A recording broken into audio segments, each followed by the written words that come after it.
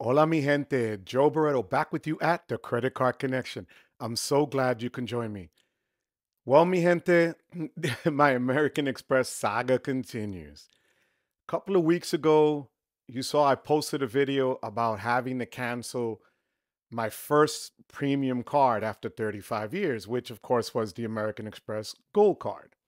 Now, that wasn't an easy decision, and I went over in that video why I canceled. It just didn't bring me the value that I expected, especially at a $250 a year price point, when also the platinum card hit at the same time. So it was just a perfect storm of annual fees hitting. And one card had to kind of go, and it had to be the gold card at this point. But here's what happened. When I canceled the card, when I called to cancel, the you know, I was hoping for some sort of retention offer or something like that. They didn't offer me one. And the only thing they offered me was a downgrade path to a green card. Now, the green card amongst the three American Express cards, the charge cards, is the first one, the basic one, let's say, right? Um, so they said, okay, we'll give you, we'll let you get the green card. I said, okay, how many membership rewards points? Here's where the problem is. They said there's no membership rewards points to give you. And it kind of threw me off because I said, okay, there's no retention offer. And now you're not giving me any points to just switch down to another card, which still also has a fee of $150 a year.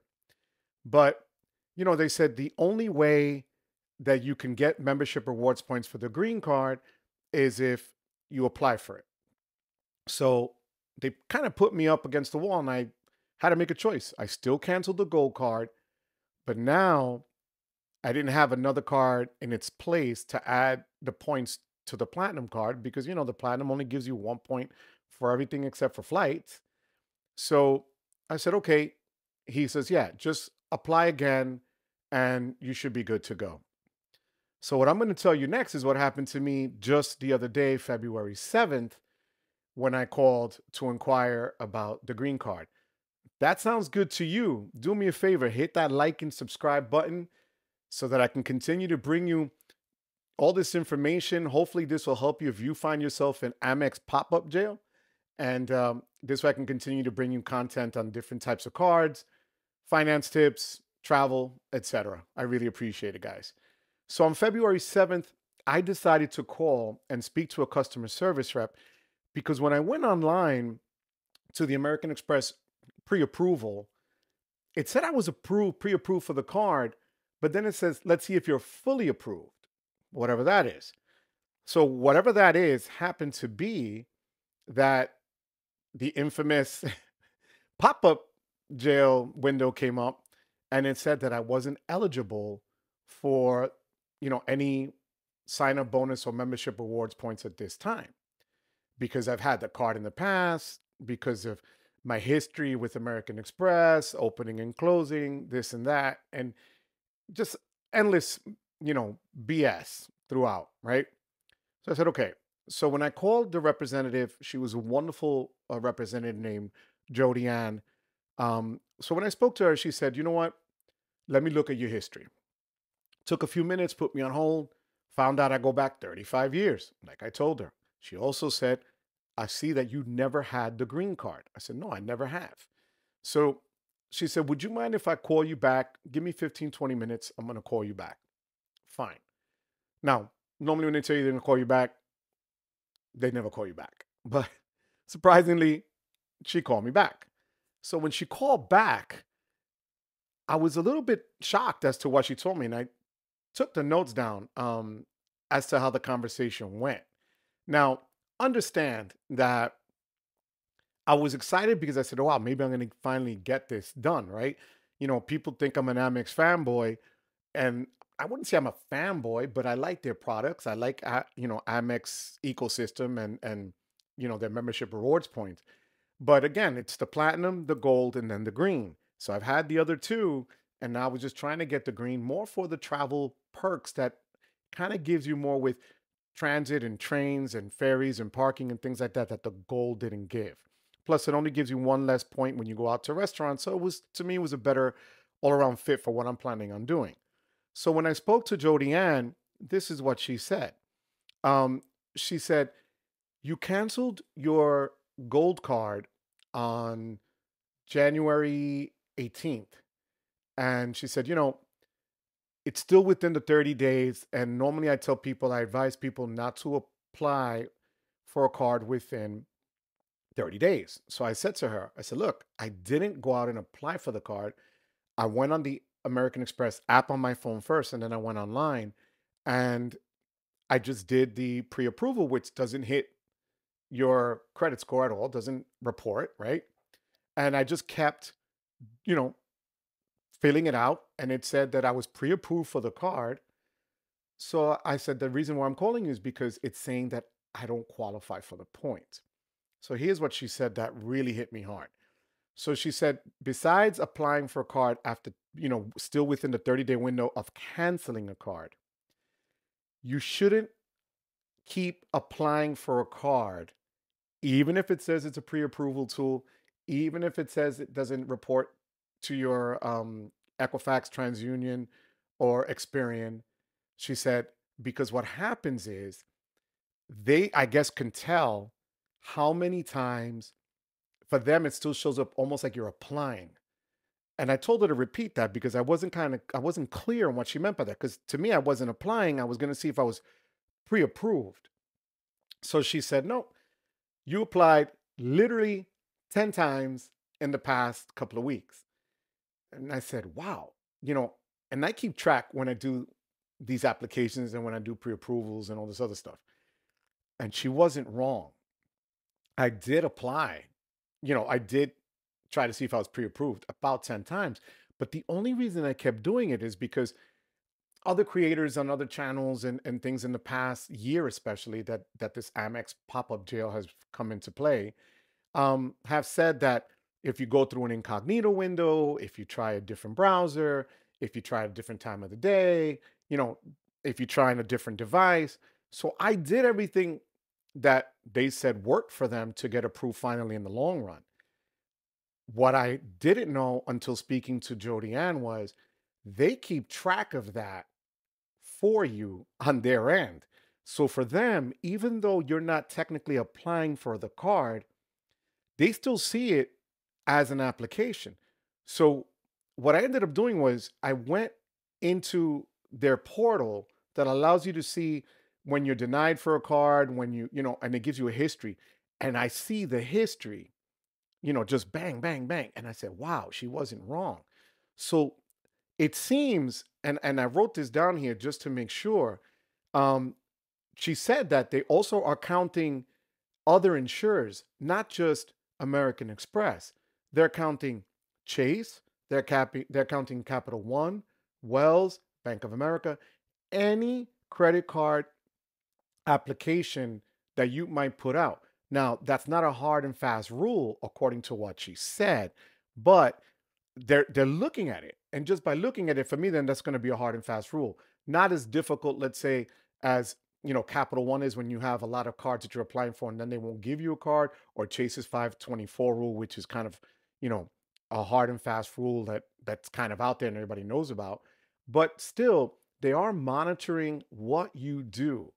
And I know it also depends on what customer service rep you're getting, who you're going to speak with, but this was an actual supervisor that called me back from Amex. It wasn't just a rep.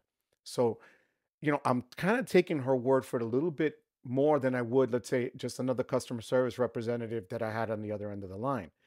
And she did call me back when she said she did. And, and she offered up more information than anybody else has ever had when it comes to pop up jail. She actually admitted how, you know, it is that this works, which no one else, they would always pass it off and kind of brush it off like, no, you know, just right now, or they gave me the standard line. But she was really more detailed about it. She also said that, um, you know, when you're going to apply, wait if you don't if you don't accept, let's say they tell you you don't qualify now for the bonus points, and then you cancel the application. Yeah, it doesn't count as a hard inquiry. Yeah, it's not an application. But you have to wait another 30 days or more for the clock to reset. She says, because every time you apply for the card, it just keeps adding time to it. So you need to give it the 30 day res- reset for them to, you know, really say whether or not you're going to be able to get the card or not. So I'm wondering if in the past seven or eight months that I've been trying to apply for this card, and I have tried, like I said, different browsers, incognito mode, different devices, you know, at least once or twice a month in the past seven or eight months. So if I kept resetting that clock within the 30 day period, maybe that's why I'm not getting the bonus sign up. Maybe. Nothing is definite.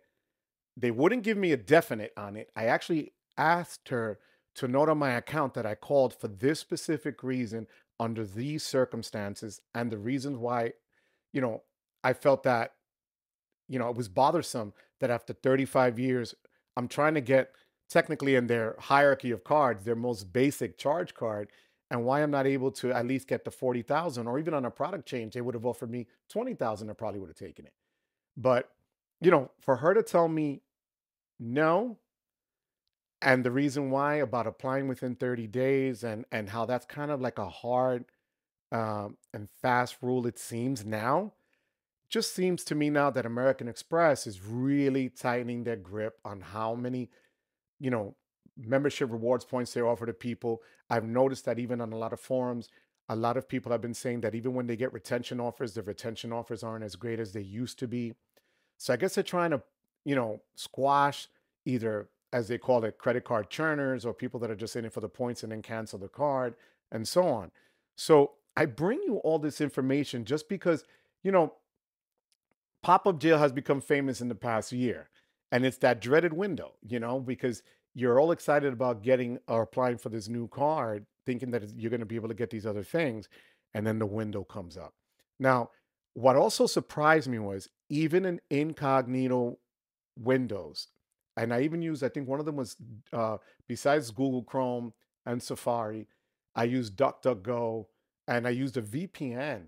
And still, because here's what happens when you go through the regular American Express app, if you have an account with them already, it kind of pre-populates, you know, the application pretty much, and then you just check off a box and click submit, right? So I could see that. But when you go into incognito, you have to personally put in your information again and starting from scratch and doing it over.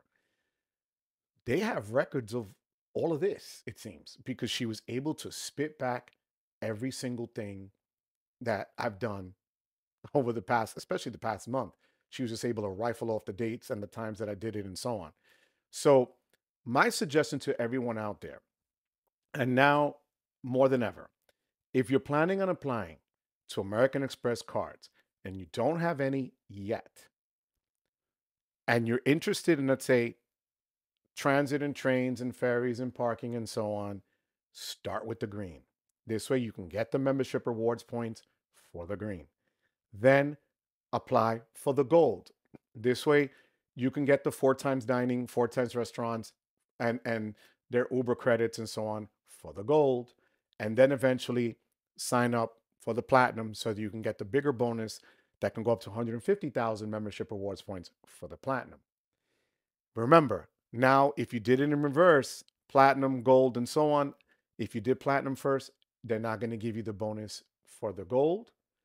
And from my understanding now, and um, I saw Matt Clausen do this on one of his videos, I believe it was yesterday, that there's a language now going to be on the green card about if you've had you know, receive bonuses for either this card or other cards in that family. So they're throwing in the family language, you're not eligible for the bonus.